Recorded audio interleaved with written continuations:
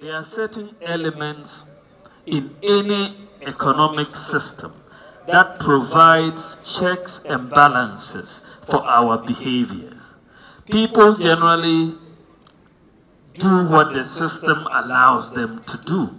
Our economy right now is very, very informal. It's extremely informal, so people can really hide in this economy.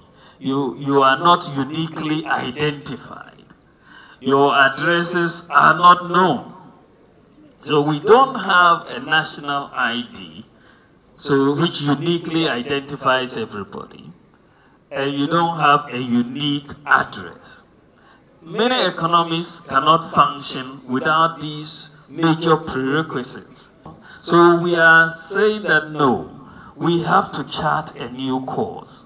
Beginning this year, we are going to bring into place in Ghana, and it will help us a lot to build a system that will channel our behavior more the, along the lines of ethical lines. First of all, by the grace of God, we are going to put in place this starting this year the national identification system for Ghana.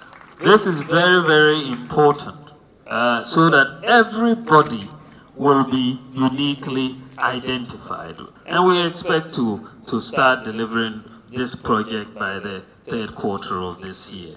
We are trying, uh, and over the years, street naming and all of that. But there is really been a major problem uniquely identifying every pro property in Ghana. And this has taken us since independence, 60 years on. We are still struggling with it.